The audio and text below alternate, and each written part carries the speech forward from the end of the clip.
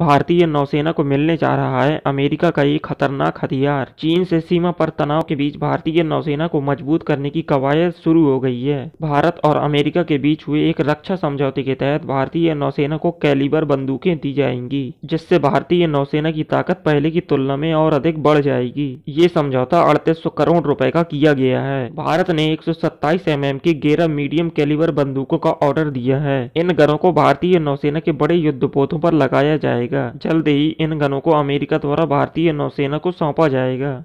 भारत के खिलाफ साजिश पाकिस्तान को पड़ी भारी। सऊदी यूएई ने दिया बड़ा झटका, आतंकवाद को बढ़ावा देने और भारत के खिलाफ साजिश रचने का खामियाजा पाकिस्तान को भुगतना पड़ रहा है। किसी जमाने में पाकिस्तान की मदद के लिए हमेशा खड़े रहने वाले सऊदी अरब और यूएई उससे दूरी बना रहे हैं और भारत से करीबी बढ़ा रहे हैं, जिससे भारतीय लोगों को रोज़गार के ज़्यादा मौके मिल रहे हैं, जबकि करीब बीस पाकिस्तानी इन देशों में अपने रोज़गार गंवा चुके हैं।